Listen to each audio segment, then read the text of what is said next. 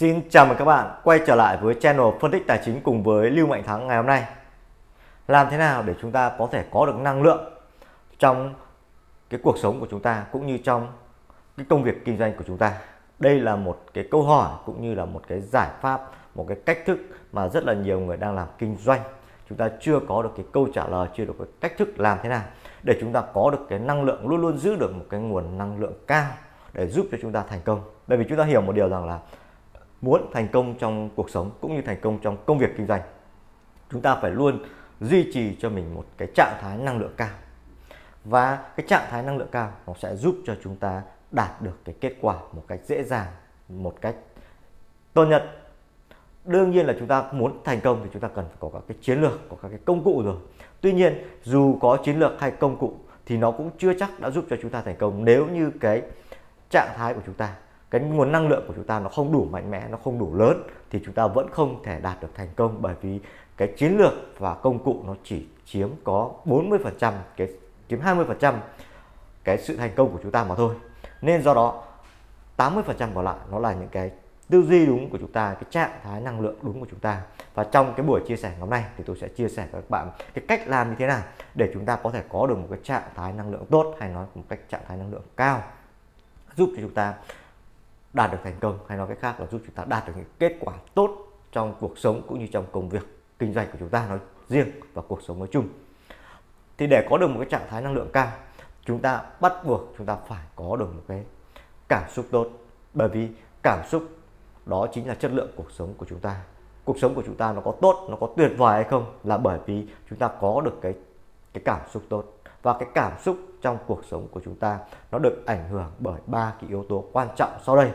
Và nếu như chúng ta có được cái cách thức để chúng ta giữ được cái trạng thái năng lượng bằng ba cái nguyên tắc sau đây, để giúp cho chúng ta luôn luôn có được cái cảm xúc tốt, thì chắc chắn chúng ta sẽ giữ được cái nguồn năng lượng mạnh mẽ, nguồn năng lượng lớn để giúp cho chúng ta có được những thành công, đạt được những thành công trong cuộc sống và từng bước từng bước một chúng ta gì tăng trưởng chúng ta tăng tốc và chúng ta phát triển con người chúng ta lớn lên theo thời gian thì con người của chúng ta sẽ lớn lên và cái cách quản trị cảm xúc của chúng ta ngày càng tốt lên ngay một lúc chúng ta không thể có được một cách quản trị cảm xúc tốt và nó cần phải được gì chúng ta tập thường xuyên chúng ta xử lý nó thường xuyên hay nói cách khác chúng ta phải thực hành nó thường xuyên đều đặn hàng ngày vậy ba cái nguyên tắc để giúp cho chúng ta có được cái trạng thái cảm xúc tốt nó bao gồm những cái điều sau đây.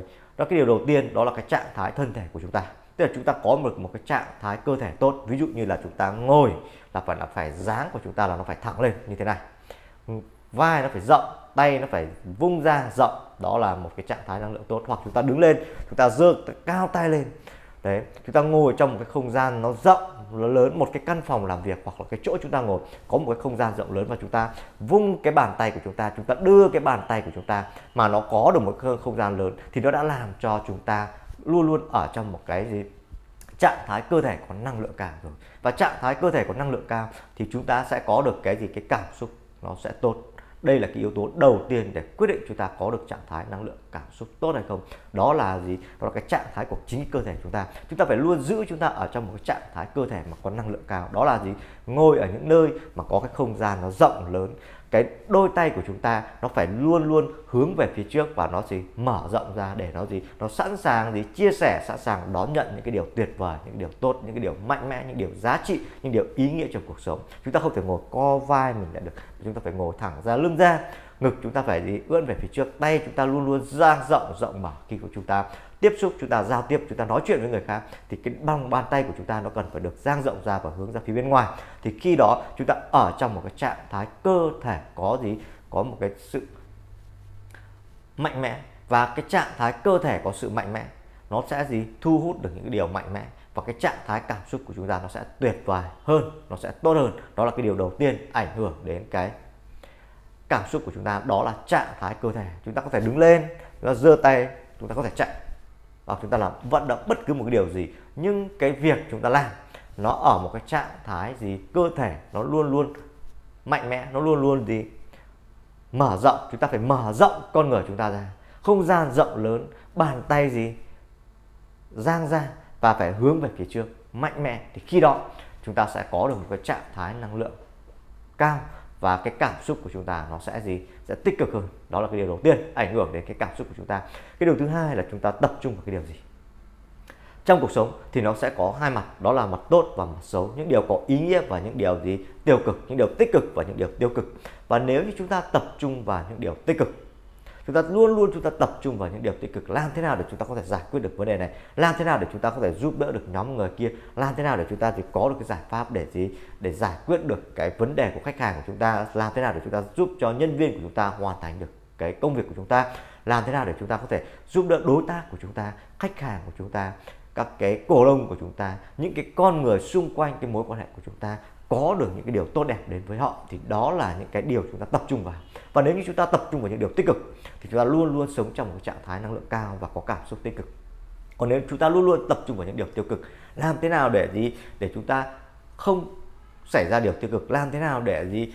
Để chúng ta cạnh tranh với các đối tác, đối thủ của chúng ta thì đấy là chúng ta tập trung vào những điều tiêu cực và chúng ta sẽ đem đến cái nguồn năng lượng tiêu cực và cái nguồn năng lượng tiêu cực nó sẽ giúp cho chúng ta không có được cái năng lượng cao và cái trạng thái cảm xúc của chúng ta nó không phải là một cái trạng thái cảm xúc tốt nhất. Nên do đó, chúng ta cần phải tập trung vào những điều tích cực. Đó là giúp đỡ một ai đó đạt được cái điều gì đó, cái kết quả gì đó tốt hơn trong cuộc sống từ nhân viên của chúng ta, từ khách hàng của chúng ta, từ đối tác của chúng ta, từ những người xung quanh cái mối quan hệ của chúng ta. Thì khi đó chúng ta đã gì tập trung vào những cái điều tích cực và khi chúng ta tập trung vào những điều tích cực, thì chúng ta sẽ tạo ra được một cái nguồn năng lượng mạnh mẽ. Cái nguồn năng lượng mạnh mẽ nó làm cho chúng ta sống trong một cái trạng thái cảm xúc nó gì, nó tốt.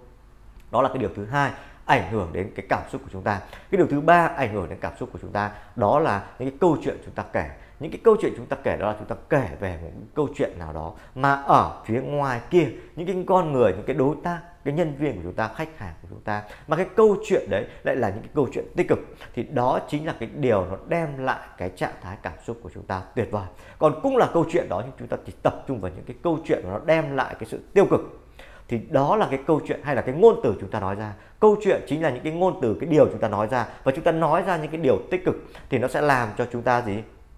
Có được một cái trạng thái năng lượng cao và cái cảm xúc của chúng ta nó sẽ tốt. Còn nếu như chúng ta tập trung vào những câu chuyện tiêu cực, tức là làm thế nào để gì, để khách hàng làm thế nào để gì, đối tác của chúng ta làm thế nào để gì, nhân viên của chúng ta đạt được cái điều họ muốn, chúng ta kể những cái câu chuyện như vậy, nói những cái ngôn từ như vậy thì nó sẽ giúp cho chúng ta có được trạng thái cảm xúc tốt. Còn nếu như chúng ta nói những cái ngôn từ mà làm thế nào để tôi gì tiêu diệt đối thủ của chúng tôi, làm thế nào để chỉ tôi xử lý nhân viên của tôi thì nó sẽ đem chúng ta vào một cái trạng thái năng lượng thấp.